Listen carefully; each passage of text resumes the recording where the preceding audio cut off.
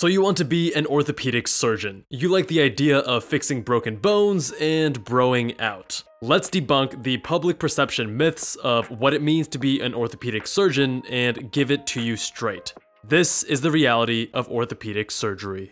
Dr. Jubbal, MedSchoolInsiders.com. Welcome to our next installment in So You Want to Be. In this series, we highlight a specific specialty within medicine, such as orthopedic surgery, and help you decide if it's a good fit for you. You can find the other specialties on our So You Want to Be playlist. A lot of you asked for orthopedic surgery in our poll, so that's what we're covering here. If you want to vote in upcoming polls to decide what future specialties we cover, make sure you are subscribed. If you'd like to see what being an orthopedic surgeon looks like, check out my second channel, Kevin Jubbal MD, where I do a second series in parallel called A Day in the Life. We've already covered two episodes on orthopedic surgery, so definitely check them out after this video.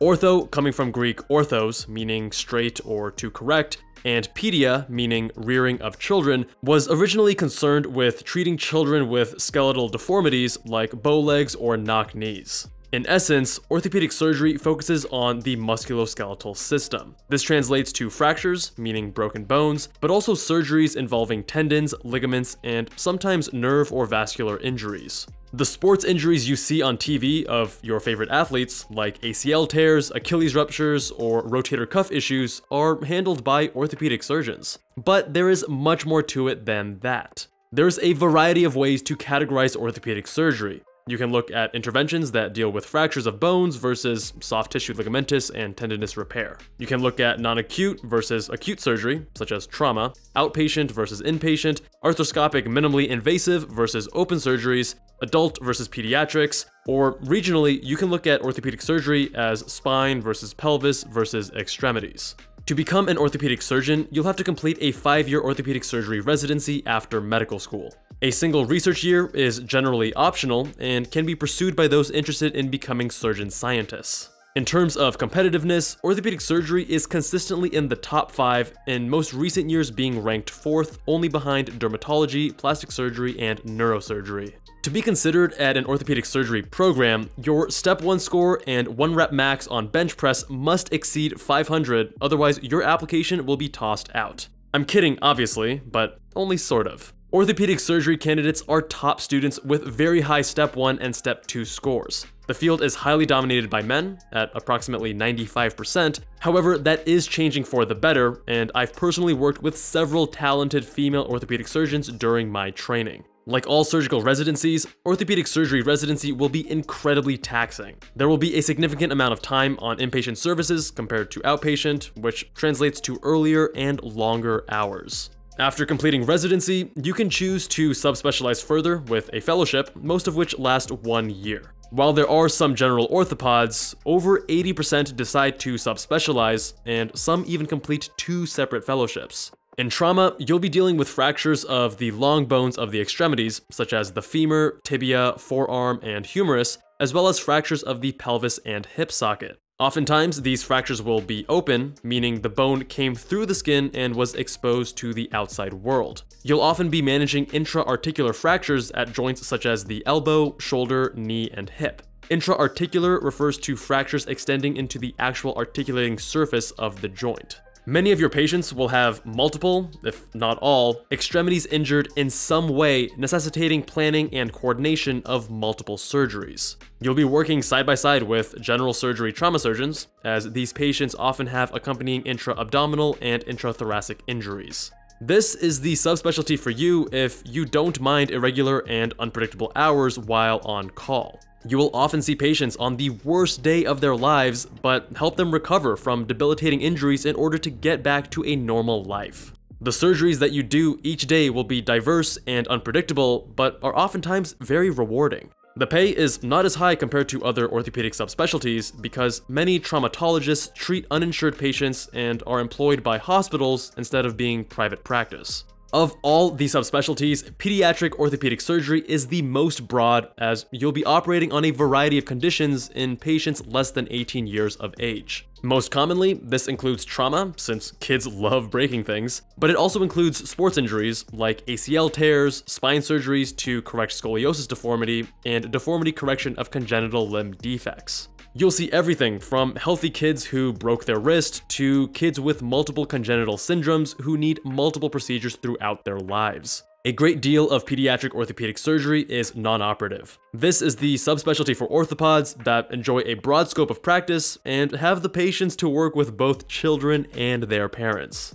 Spine includes surgical intervention to correct spinal deformity, trauma, degenerative disease, and nerve compression. Spine surgeons are consistently among the highest compensated orthopedic surgeons. You'll be dealing with multiple areas of the axial skeleton, operating primarily on the cervical, thoracic, and lumbar spine, and occasionally the sacrum. There is some overlap between orthopedic spine surgeons and neurosurgeons, as both operate on the spine with similar indications and techniques. However, neurosurgeons will also operate on lesions that affect the actual spinal cord that extend into the dura, which is the outermost layer of the meninges. As an orthopedic surgeon, you'll stick to just the bony spine and leave the spinal cord to the neurosurgeons. Hand surgery obviously includes the hand, but also the forearm, wrist, and sometimes up to the elbow or even higher. Approximately 70% of fellowship-trained hand surgeons first completed an orthopedic surgery residency, but 25 to 30% of the time, it's plastic surgeons. General surgeons can train in hand fellowship as well, although it is quite rare. This is the subspecialty for the cerebral and intellectual orthopods. It's the second most competitive fellowship and deals with incredibly complex anatomy. You have to find enjoyment in the nuances and esoteric variations of anatomy and function. Given the highly complex anatomy, you'll be doing a lot of microsurgery, operating under microscopes, or using surgical loupes to better visualize the tendons, nerves, vessels, and bones. The pathology treated is extremely broad. You'll be dealing with fractures, infections, nerve compression, degenerative disease, overuse injuries, congenital defects, and traumatic amputations of the fingers, wrist, and hand. Hand surgeons also deal with revascularization of amputated digits or limbs with repair of the peripheral nerves. Hand surgeons also do targeted muscle reinnervation, which is straight science fiction. This provides patients with traumatic amputations to the upper extremity with the ability to use myoelectric prostheses with more intuitive function. In short, nerves that would have innervated muscles that no longer have function can be rerouted such that a prosthetic limb can perform more complex movements. Magic, baby. For example, the starfish procedure allows for independent digital flexion and extension through a myoelectric prosthesis.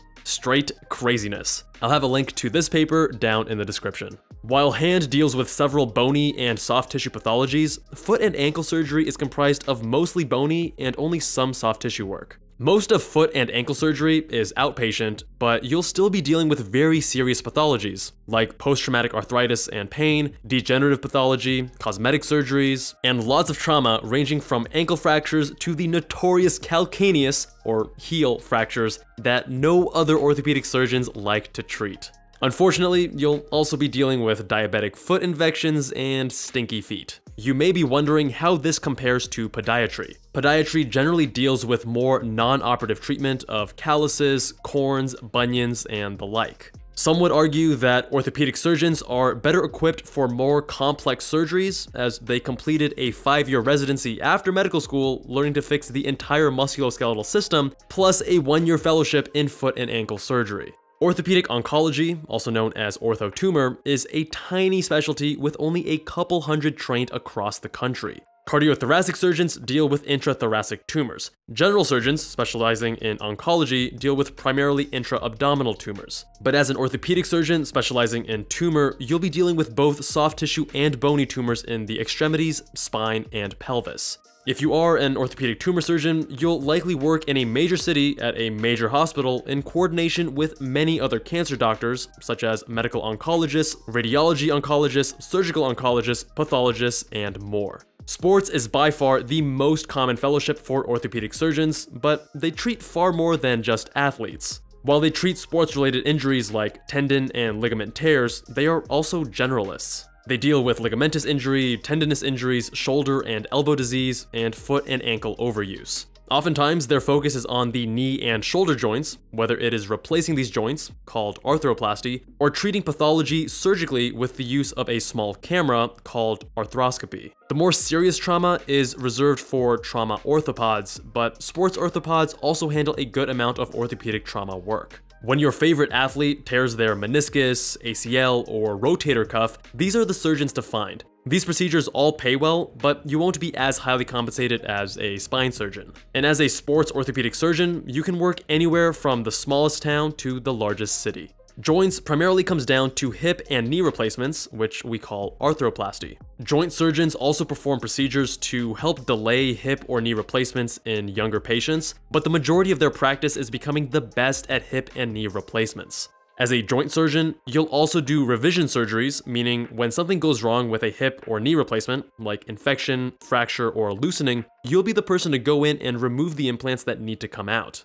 This is one of the most competitive fellowships. The field is highly desirable due to arthroplasty being a predictable lifestyle and hip replacements being one of the most successful surgeries that exist. Patients come in having pain with every step and walk out the hospital the next day. It's an extremely rewarding field. If you like repetition and becoming really good at a few different procedures, this is the subspecialty for you. There's a lot to love about ortho. First, you'll actually be fixing pathologies rather than just managing them as you do in many other medical specialties. Patients come in with a distinct problem and you have a way of fixing it. Also, orthopedics usually has good outcomes, with most patients having substantial improvement to their condition after surgery. Second, the surgeries are fun. Scopes and minimally invasive surgeries are becoming more widespread in all surgical specialties, and while they are great for patients, they aren't as fun to perform. Orthopedic surgery still has plenty of open cases with amazing exposure and anatomy to appreciate. Third, it's a team sport. The personalities within orthopedics vary widely from the days of everyone being massive bros.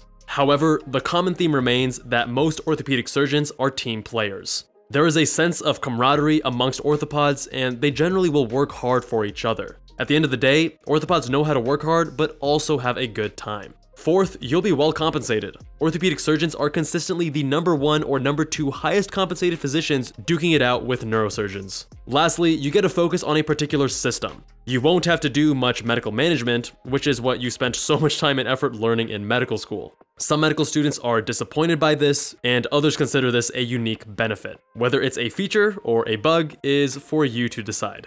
As with many surgical specialties, orthopedic surgery can have challenging hours. That being said, be thankful those long hours are in the emergency department and operating room doing actual procedures, and not so much in clinic. Diversity in the field has historically been lacking, both in gender and in background. The field is 95% dominated by men, one of the most skewed of any surgical specialty. The good news is that it's slowly changing for the better, with women making up at least 14% of residents in 2016 to 2017, and that number is growing every year. For better or worse, it will be difficult to escape the bro stereotype. All personalities are welcomed and present, but some do dominate. And lastly, oftentimes it's not very precise or meticulous.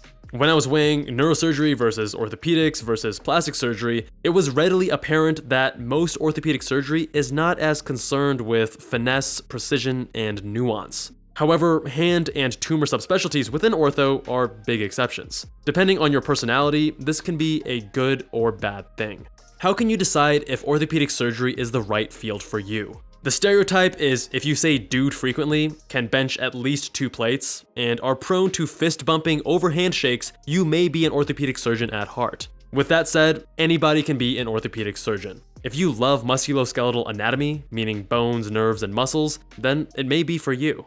If lots of effort, hammers, drills, scopes, and big incisions aren't enticing for you, then consider looking elsewhere. And finally, orthopedic surgery is a highly competitive specialty, so you'll need to be willing to work your tail off in medical school. That translates to more than just high board scores, but also playing the research game, being a leader, and crushing your clinical rotations beyond just surgery. And who better to learn from and be mentored by than orthopedic surgeons themselves? Big shout out to the orthopedic surgeons from Med School Insiders that helped me in the creation of this video. If you need help acing your MCAT, USMLE, or other exams, our tutors can maximize your test day performance. If you're applying to medical school or orthopedic surgery residency, our orthopods can share the ins and outs of what it takes and how to navigate the highly competitive process most effectively. We've become the fastest growing company in the industry, and it's no surprise. Our customers love us because we're committed to delivering results, period.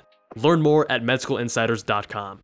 Thank you all so much for watching. What specialty do you guys want me to cover next? Leave a comment down below and make sure you're subscribed to vote in those upcoming polls. If you enjoyed the video, hit that thumbs up button to keep the YouTube gods happy. Much love to you all, and I will see you guys in that next one.